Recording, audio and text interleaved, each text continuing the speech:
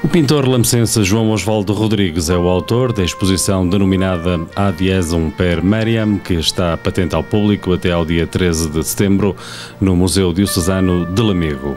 Podemos ver uma mensagem de alegria, de fé, de confiança, de verdade. Convidar as pessoas a encontrar o caminho da verdade. É, as pessoas pensam, eu sou um cristão, sou cidadão lamego, cristão, eh, nasci no meio de uma família cristã, tive dez irmãos, mas dei-me conta que aos 20 anos a catequese que eu tinha aprendido tinha passado. E ao relacionar-me com as outras pessoas, eu não tinha capacidade, a possibilidade de poder ligar os meus afetos, os meus sentimentos, as minhas emoções, os meus problemas com problema de, com a fé. E então ela foi ficando, ficando, ficando. Dei-me conta mais tarde que esse lugar de fé estava a desvanecer no contexto da sociedade e, e, e em vez de se falar de fé, eh, escondíamos a fé com o lugar da vergonha. Então, o que é mais vergonha são os nossos erros, as nossas falhas, ou então a vergonha de testemunhar valores. Mais tarde, eu questionava se os valores humanos eram simplesmente assumidos através do trabalho, através da relação da família, através da discussão o que está certo e está errado, ou então através do digam não à missa, ouvir ou não ouvir, ser, ser ou mau, bom ou mau ouvinte, e estar, como estar no meio da sociedade, quem são os melhores, quem são os piores, o que é que nós estamos a fazer aqui?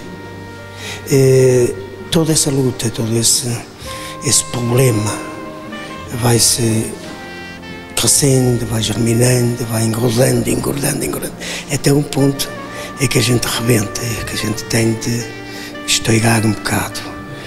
E depois do resultado desse, dessa bomba humana, dessa bomba pessoal, eu, veio o reconhecimento de todo o problema da vida, uma nova reflexão da vida e daí surgiu a necessidade de falar, convidar as pessoas a refletir sobre a verdade. Nesta exposição aqui, eu não apresento a minha verdade. Eu desafio as pessoas a sentirem a verdade a partir daquilo que eu aqui apresento.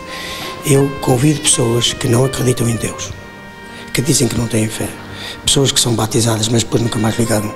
Eu convido as pessoas a, a virem aqui, a ver se entendem se elas próprias se convidam a si próprias, quero desafiá-las a esse convite. A convite delas próprias a si mesmas. E eu acredito, como tem acontecido em vários lugares, quer aqui esta exposição já esteve aqui no ano passado, já rolou, tem andado pelo país, já esteve no estrangeiro e particularmente, inclusive no estrangeiro, vejo sinais de emoção, de afeto extremamente eh, significativos. João Osvaldo Rodrigues nasceu no seio de uma família cristã e cedo se sentiu inclinado para a pintura e escultura. Grande parte da sua obra foi realizada em Lamego, sua terra natal. É, Porquê é que eu vim cá a Lamego? Porque gosto, nasci aqui, vivi aqui 47 anos, 48 anos. É, quero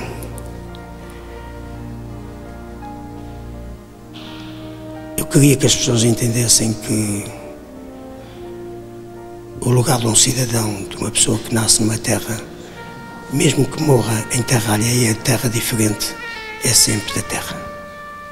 Eu vim aqui por respeito às pessoas desta terra.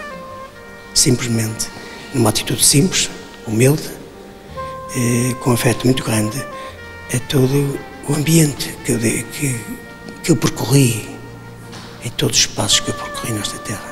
Ao organizar esta exposição dedicada a Maria, Mãe de Jesus, o Museu Diocesano pretende constituir mais um polo de atração numa altura em que a cidade se prepara para receber milhares de peregrinos que vêm assistir às festas em honra de Nossa Senhora dos Remédios. O objetivo de, de termos esta exposição do João Osvaldo, que já é a segunda que temos aqui no, no museu, a primeira foi sobre um tema de Cristologia e desta vez é a Mariologia. O próprio título da, da exposição indica Ad Jesum per, per Mariam, quer dizer, a Jesus nós chegamos por Maria.